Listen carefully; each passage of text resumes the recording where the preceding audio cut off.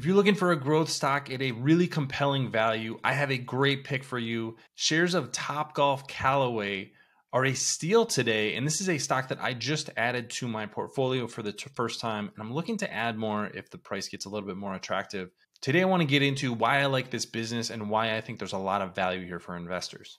Thanks to our friends at The Motley Fool for sponsoring this video. Visit fool.com forward slash riiv to receive the top 10 stocks to buy right now. First off, if you're not familiar with Topgolf Callaway, this is a company that makes golf clubs. That's the, the namesake of the Callaway brand.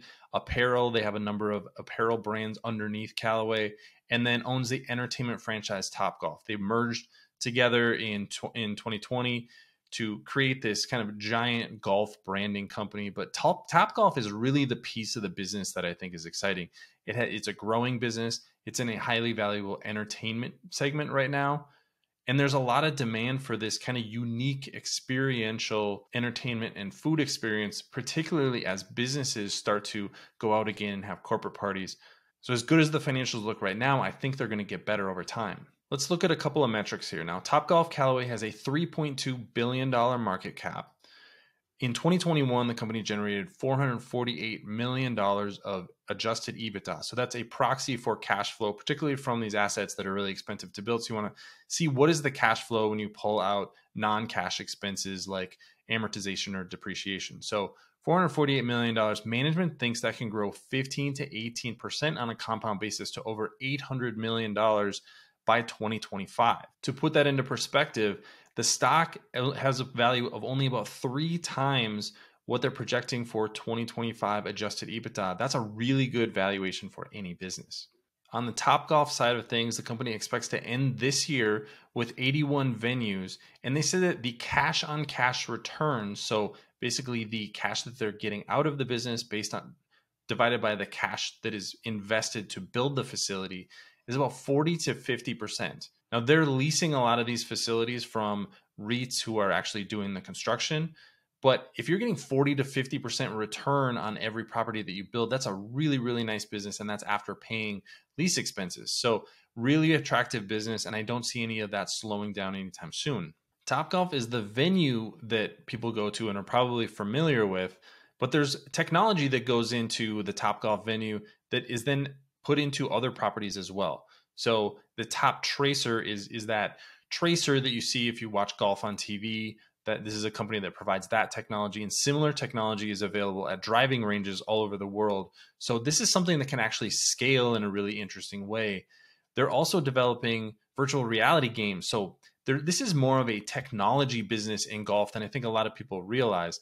Topgolf is the name. It's kind of the foundation. It's where the money comes from. But then they're taking some of that money and investing in really interesting growth opportunities. So that's what I like here is you have a really strong core in Topgolf and then a name like Callaway in equipment and golf branding.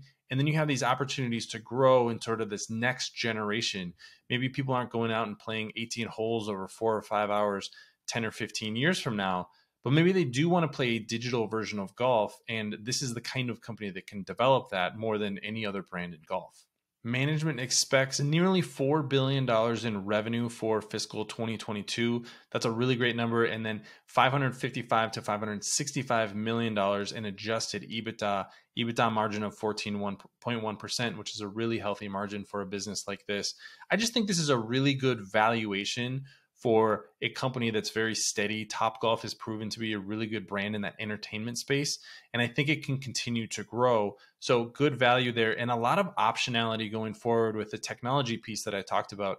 Top Tracer is an interesting product. They're using it in their own facilities. That's kind of like their test case. And then they're building these digital tools as well. Maybe virtual reality isn't something that is a meaningful piece of the business for five to 10 years. But in the meantime, we have a great core business that is profitable on its own. So that's why I like this stock. That's why I added it to my portfolio. Let's see what the next couple of quarters look like. See if spending on entertainment slows down, if we hit some sort of recession. But I think there is enough slack there in the business. Even if demand slows down a little bit, this is going to still be a pretty profitable business.